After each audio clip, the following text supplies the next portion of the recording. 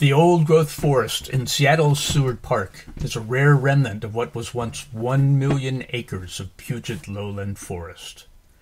These 120 acres of Douglas fir, red cedar, hemlock, and big leaf maple are a full 10% of all that remain of those million acres.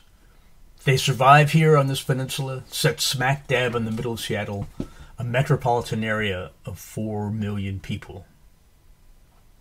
This peninsula and its forests survived two onslaughts.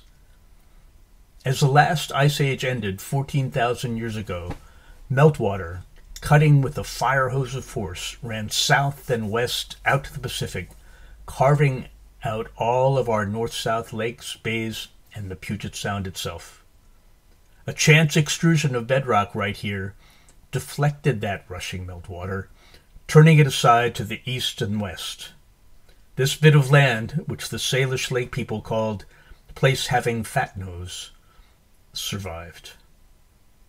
A second onslaught came 170 years ago. White settler colonists arrived, and the logging began straight away. Seattle's own forest was the first to be cut. But not here. In 1903, during an early burst of prosperity and civic pride, Seattle hired the Olmsteds whose city design included the recommendation that this peninsula be set aside immediately for public use rather than being logged and developed. In the ensuing 120 years, this park and this forest has played an important role in the lives of many. We call it the Magnificent Forest. We call it Seattle's crown jewel. But all is not well Acres of sword ferns began dying in 2013. The western hemlock, Washington's official state tree, is now dead or dying throughout the forest. Causes unknown. Both of these phenomena are seen elsewhere in the region, but nowhere so clearly, so dramatically, nor so conveniently studied as here at Seward.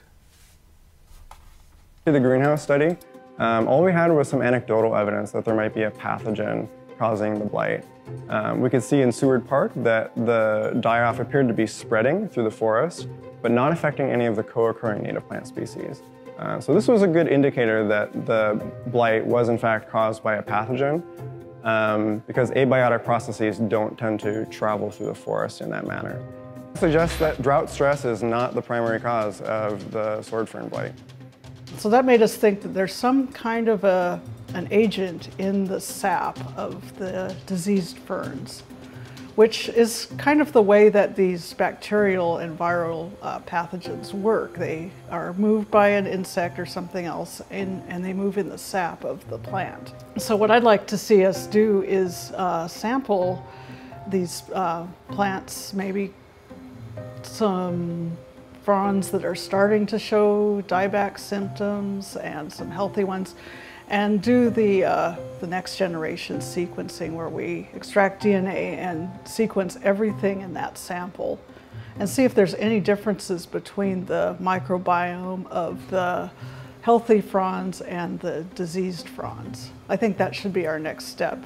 As far as doing the DNA sequencing, if there was funding, we could do that in our lab. Start with a a hypothesis.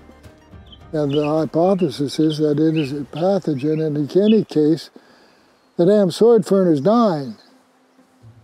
One of the most important opportunities they have is to pursue this question of what's causing the mortality of the sword fern. And the sword fern is a really, really important understory species throughout the Douglas fir region.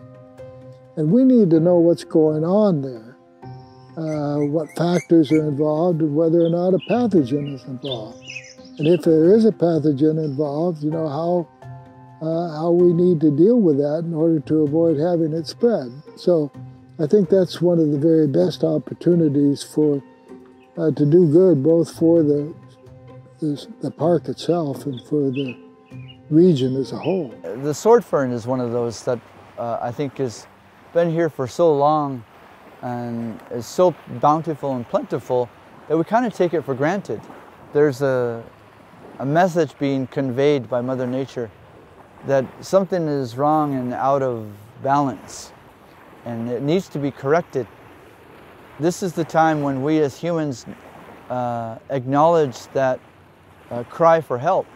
It's time that the rest of us uh, hear that same request and, and come to the aid of, of Mother Nature and, and what she does here, all the good work that she does here.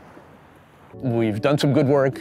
Um, we have some preliminary results, but it's now time to move from uh, beer bottles to beakers and autoclaves.